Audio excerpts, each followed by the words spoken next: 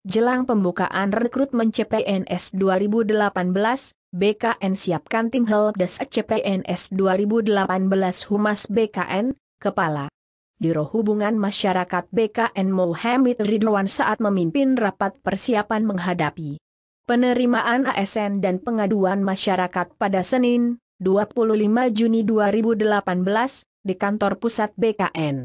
Jakarta mengatakan menjelang pembukaan rekrutmen CPNS 2018, BKN kembali akan membentuk tim Helpdesk CPNS untuk membantu permasalahan yang dihadapi para pelamar seleksi CPNS 2018 saat melakukan pendaftaran.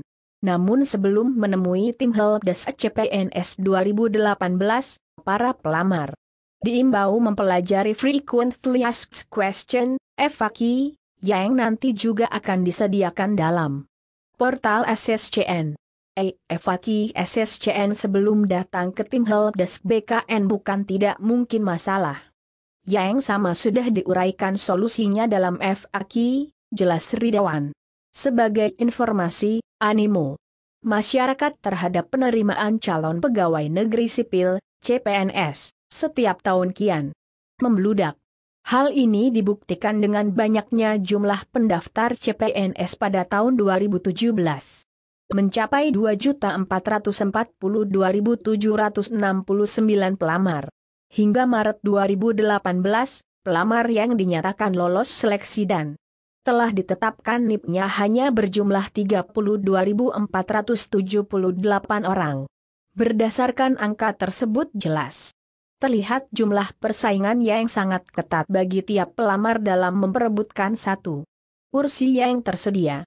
Tingginya minat masyarakat untuk menjadi CPNS juga berimbas kepada permintaan pelayanan informasi kepada tiap-tiap instansi yang membuka lowongan formasi.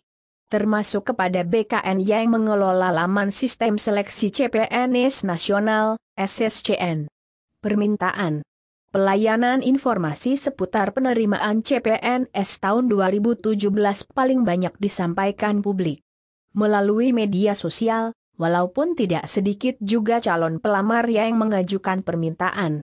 Informasi melalui surat elektronik, lapor BKN, serta datang langsung ke ruang helpdesk BKN. Total permohonan informasi yang diterima ketiga kanal tersebut sebanyak 3.995.027.